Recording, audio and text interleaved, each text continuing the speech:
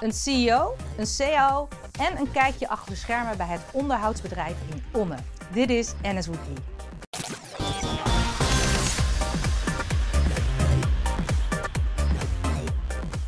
Hoi, leuk dat je weer kijkt.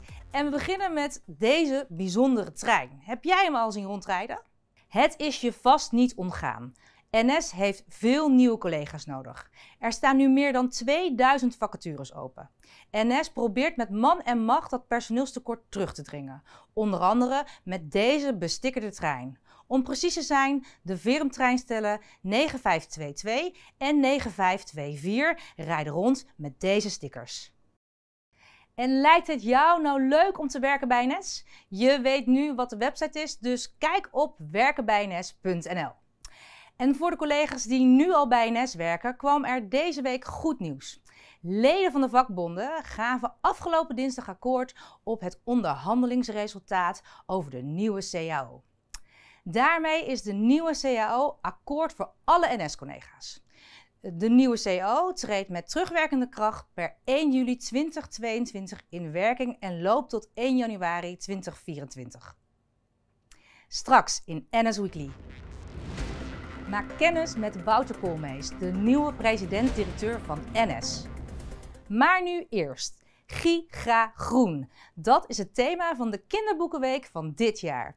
NS is hoofdsponsor en daarom lezen conducteurs, machinisten en medewerkers veiligheid en service voor aan basisschoolkinderen door het hele land.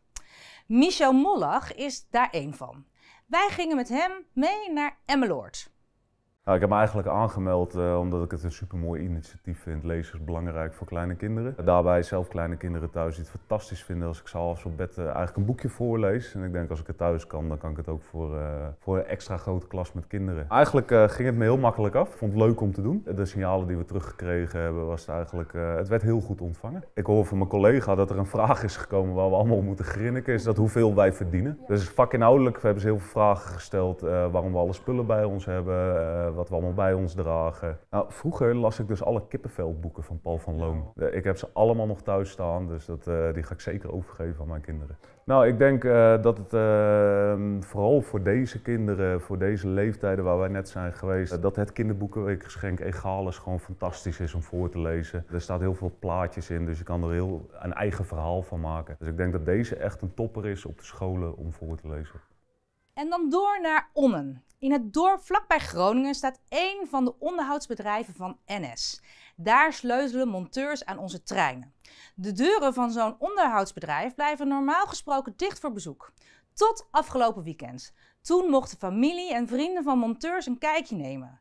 Natuurlijk was NS Weekly erbij. Kijk mee. Het is leuk dat ze dit uh, organiseren, ja, ja. Super gaaf. Wel cool en leuk georganiseerd van de NS.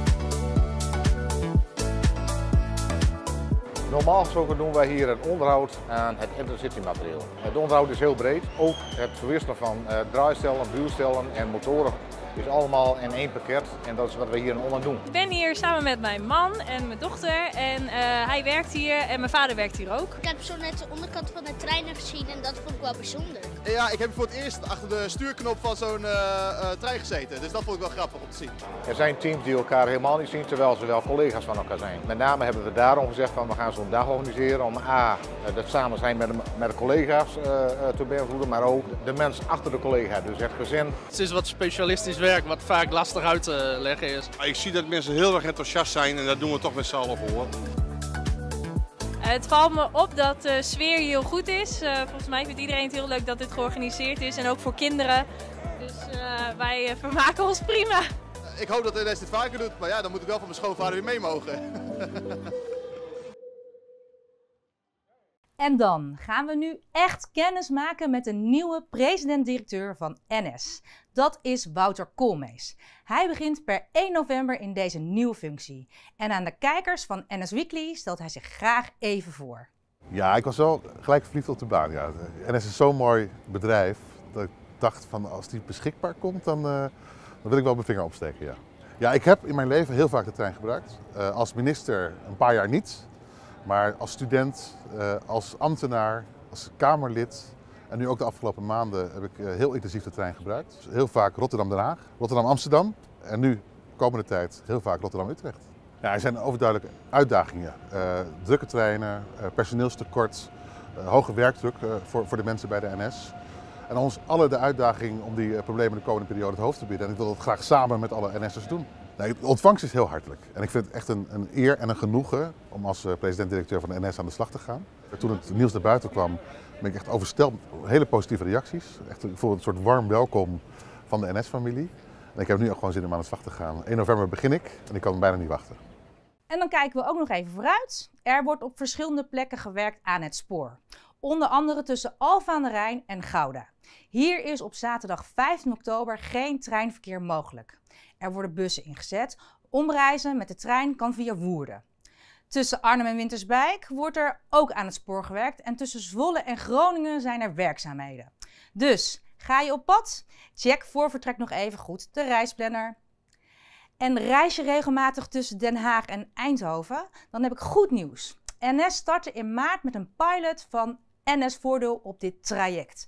Reizigers konden een e-ticket kopen waarbij de korting op het kaartje wordt berekend door de druktedata. Dus hoe rustiger de trein, des te hoger de korting. En die kan wel oplopen tot 60%.